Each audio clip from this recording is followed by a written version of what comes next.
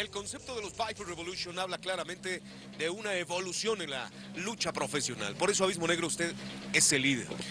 Mira, gracias Jesús.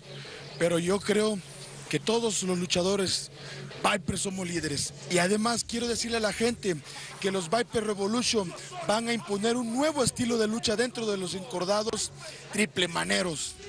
Oiga, ¿y a qué se refiere con un nuevo estilo?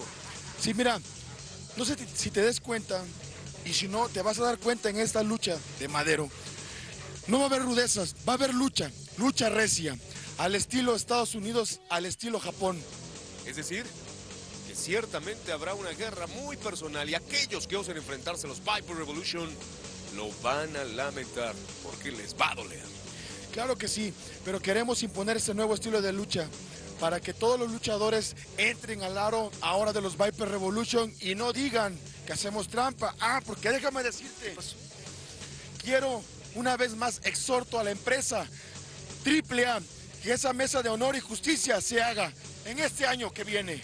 ¿Esa mesa de honor y justicia tendría la función de juzgar lo malo y lo bueno?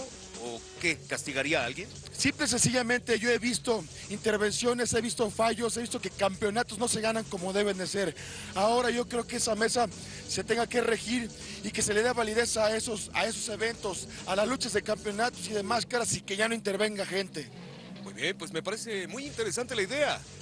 Así que los tramposos tendrán que ponerse a trabajar que la mesa de honor y justicia, estoy seguro, se va a lograr.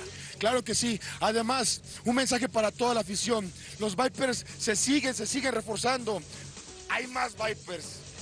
Vipers van, Vipers vienen. bueno, ¿usted a quién acomodaría en ese segmento de la lucha?